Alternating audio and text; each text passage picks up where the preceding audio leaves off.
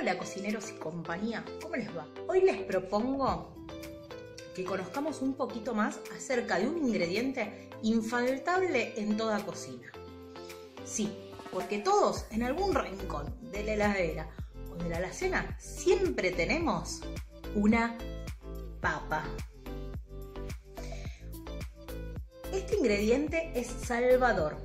Nos salva cualquier comida. Podemos usar como entrada, como acompañamiento o incluso como un plato principal.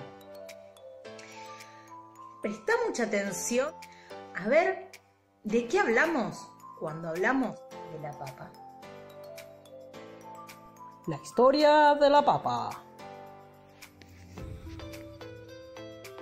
La papa es un tubérculo, lo que significa que aunque crece bajo la tierra, no es una raíz, sino un tallo subterráneo. Su cultivo es muy fácil, solo basta sembrar una papa para que crezca una nueva planta. La papa es originaria de Sudamérica.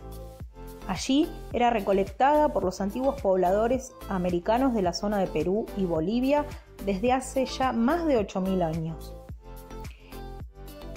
El término papa deriva del quichua y significa recoger era un elemento muy importante para las culturas andinas, que además de usarla como alimento, la utilizaban como medicamento.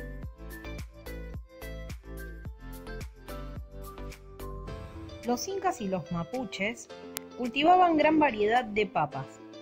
Existen actualmente 5.000 variedades de papas diferentes.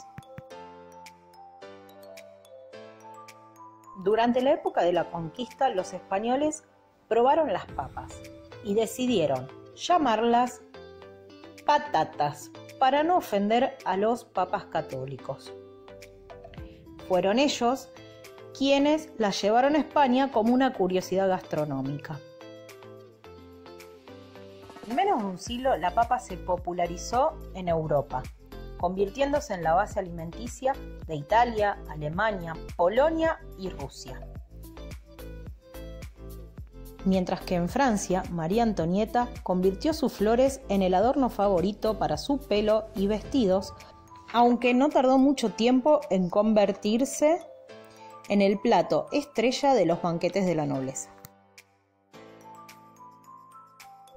A partir del siglo XVIII, luego de la Guerra de los 30 años que azotó a toda Europa, la papa comenzó a cultivarse masivamente para matar el hambre.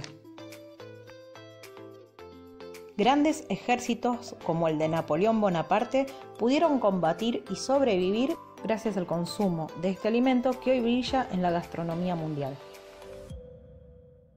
Al ser uno de los alimentos más consumidos mundialmente, en 1995 la NASA incluyó un microcultivo de papas en la nave espacial Columbia, convirtiendo a la papa en el primer cultivo de la historia que creció con éxito en el espacio. No lo puedo creer.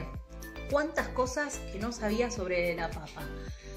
Prácticamente podemos decir que la papa es el superhéroe de la comida. No sabía que había salvado a tanta gente, ni mucho menos que había viajado al espacio. Ahora que aprendimos todo esto, vamos a ponerlo en práctica en el cuadernillo. Mira las veces que necesites este video y recordá que este es un ingrediente que lo usamos siempre.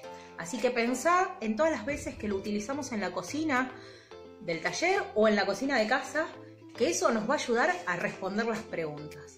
Les mando un beso grande y nos estamos viendo la próxima, seguramente con una nueva receta.